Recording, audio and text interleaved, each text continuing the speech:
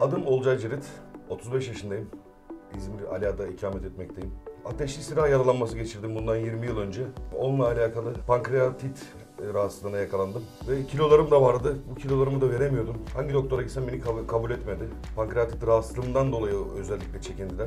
Ben de e, tüp mide ameliyatını çok araştırdım ve Özgür Bey'i buldum. Yani Özgür Bey'le yollarımız kesişti. İyi ki de kesişti. Sadece tek bu rahatsızlıklarımla ilgili, bu ameliyatla ilgili bana tek güven veren Özgür Bey oldu. Ameliyatım oldum sıkıntısız bir şekilde şu anda ayaktayım. Çok mutluyum. İyi ki Özgür Bey'i buldum.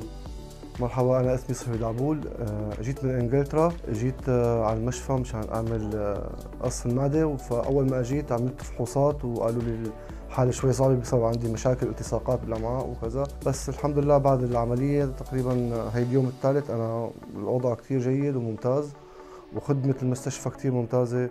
وبتشكر دكتور اوزغور وهذا